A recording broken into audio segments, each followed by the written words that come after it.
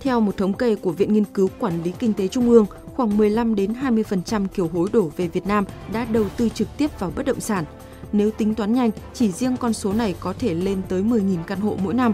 Việc mở rộng quyền sử dụng đất cho người Việt Nam định cư ở nước ngoài trong luật đất đai mới thông qua được đánh giá là tin mừng cho cộng đồng Việt Kiều có mong muốn sở hữu bất động sản tại Việt Nam.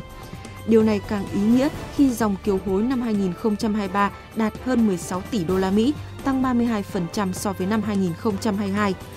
Ngoài ra, thống kê của Ủy ban Nhà nước về người Việt Nam ở nước ngoài còn chỉ ra lượng kiều hối về Việt Nam từ năm 1993, năm đầu tiên thống kê kiều hối, đến hết 2022 đạt trên 190 tỷ đô la Mỹ, gần bằng lượng vốn FDI giải ngân trong cùng kỳ. Riêng nguồn kiều hối kỷ lục 19 tỷ đô la Mỹ của năm 2022 đã đưa Việt Nam vào nhóm 10 quốc gia nhận kiều hối lớn nhất từ nước ngoài.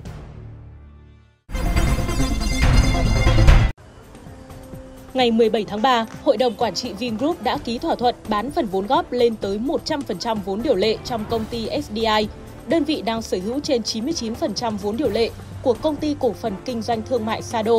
cổ đông lớn nhất của Vincom Retail. Giao dịch dự kiến sẽ thực hiện từ tháng 3 năm 2024 đến quý 3 năm 2024. Sau khi giao dịch này hoàn tất, công ty SDI, công ty Sado và công ty Vincom Retail không còn là công ty con của tập đoàn Vingroup Công ty cổ phần kinh doanh thương mại Sado đang là cổ đông lớn nhất của công ty này khi sở hữu 943,2 triệu cổ phiếu VRE, tương đương 40,5% vốn điều lệ và 41,51% quyền biểu quyết của công ty. Doanh nghiệp này bắt đầu sở hữu cổ phiếu VRE kể từ tháng 2 năm 2021 sau khi sáp nhập công ty trách nhiệm hữu hạn kinh doanh và phát triển đô thị Nam Hà Nội. Kể từ tháng 4 năm 2021, Sado đã chính thức trở thành cổ đông lớn nhất của Vincom Retail khi nhận chuyển nhượng tiếp 751 triệu cổ phiếu VRE nữa. Bản thân Vingroup cũng đang trực tiếp sở hữu 18,37% vốn điều lệ, tương ứng 18,82% quyền biểu quyết của Vincom Retail.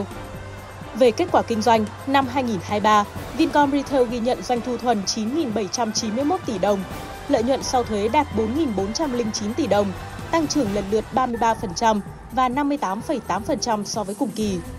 Năm 2024, Vincom Retail dự kiến sẽ khai trương thêm 6 trung tâm thương mại với tổng diện tích mặt sàn bán lẻ khoảng 160.000 m2, giữ vững vị thế là nhà phát triển bất động sản bán lẻ hàng đầu tại Việt Nam và khu vực. Ông Lê Hoàng Châu, Chủ tịch Hiệp hội Bất động sản thành phố Hồ Chí Minh Horea cho rằng chủ nhà trọ góp phần quan trọng trong việc giải quyết chỗ ở ngày càng có chất lượng tốt hơn cho công nhân, lao động, người nhập cư. Do đó, Horea đề nghị bổ sung nhóm này được hưởng chính sách hỗ trợ nhà ở khi tự xây dựng hoặc cải tạo, sửa chữa nhà cho thuê phù hợp với từng địa phương.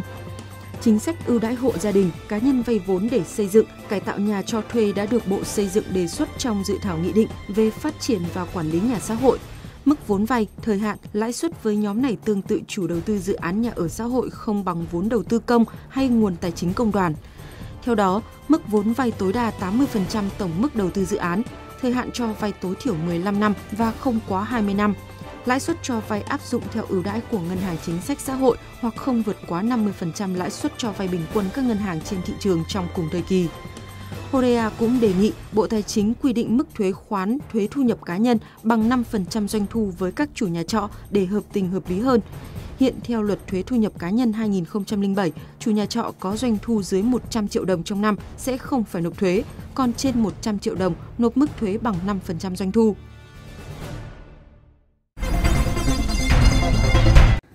Tại dự luật bảo hiểm xã hội sửa đổi, ban soạn thảo tiếp tục đề xuất hai phương án rút bảo hiểm xã hội. Theo đó, phương án 1 gồm hai nhóm người lao động. Nhóm thứ nhất là người lao động sau 12 tháng không tham gia bảo hiểm xã hội bắt buộc, bảo hiểm xã hội tự nguyện và thời gian đóng bảo hiểm xã hội chưa đủ 20 năm thì được rút bảo hiểm xã hội một lần. Nhóm thứ hai là người lao động tham gia bảo hiểm xã hội từ ngày luật này có hiệu lực trở đi, không được áp dụng quy định rút bảo hiểm xã hội một lần. Phương án 2 điều kiện như phương án 1, người lao động được rút bảo hiểm xã hội một lần nhưng không quá 50% tổng thời gian đã đóng vào quỹ hưu trí và tử tuất. Thời gian còn lại được bảo lưu để người lao động tiếp tục tham gia khi có điều kiện và hưởng các chế độ bảo hiểm xã hội. Quy định mới cũng bổ sung đối tượng có thể rút bảo hiểm xã hội một lần với người có mức suy giảm khả năng lao động từ 81% trở lên, người khuyết tật đặc biệt nặng.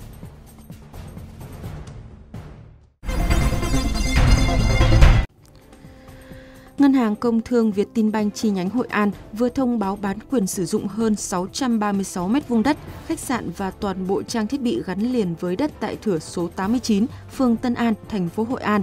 Đây là tài sản đảm bảo của công ty trách nhiệm hữu hạn dịch vụ du lịch Hoàng Ngọc Phát. Theo đó, tài sản trên đất là khách sạn 4 sao Le Pavillon Paradise Hội An Hotel and Spa với tổng diện tích hơn 380 m2, diện tích sàn hơn 2.600 m2, khách sạn có một hồ bơi với diện tích sàn hơn 120 m2. Vietinbank đã chào đấu giá tài sản này hai lần trước đó vào tháng 8 và tháng 9 năm ngoái, khởi điểm từ 140 tỷ đồng. Tại lần đấu giá thứ ba, giá khởi điểm của tài sản còn 110 tỷ đồng, giảm hơn 21%, chưa gồm thuế phí, lệ phí và các chi phí khác. Người muốn tham gia cuộc đấu giá cần nộp cọc trước 11 tỷ đồng, tương đương 10% giá khởi điểm.